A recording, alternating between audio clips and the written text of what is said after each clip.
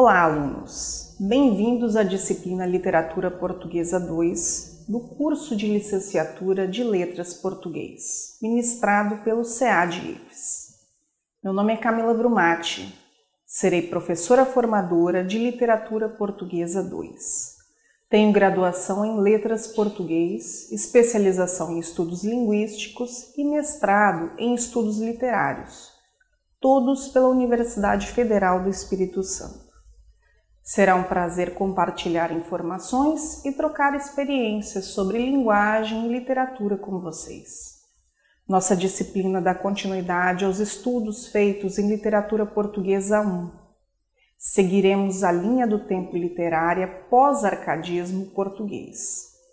A ideia é estudar as produções literárias do século XIX, compreendidas em três movimentos artísticos: o romantismo, o realismo e o simbolismo. Mais detidamente sobre o romantismo, estudaremos o contexto histórico de surgimento, as principais obras e autores, além do impacto que a estética romântica causou na literatura sequente.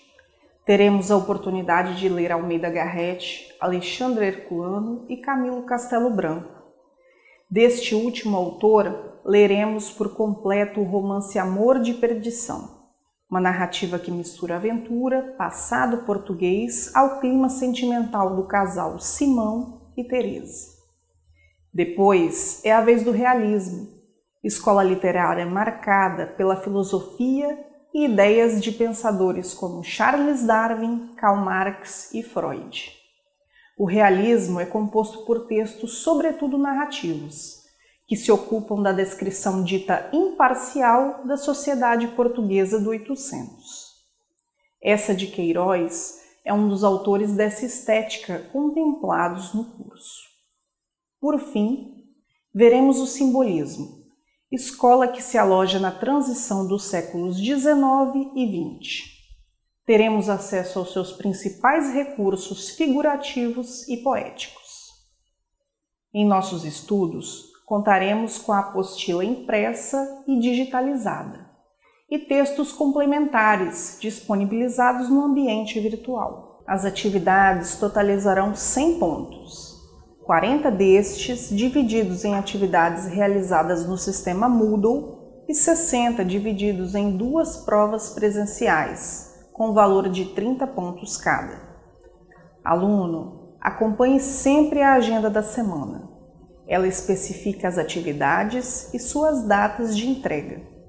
Organize seu tempo e não deixe acumular as tarefas. Tente realizar todas as leituras indicadas, mesmo que sejam complementares e não obrigatórias. Aproveite ao máximo as informações desta disciplina. Pense que elas se somarão ao que você já sabe do universo literário e facilitarão o entendimento das próximas matérias de literatura. Tire suas dúvidas com os tutores presenciais e à distância.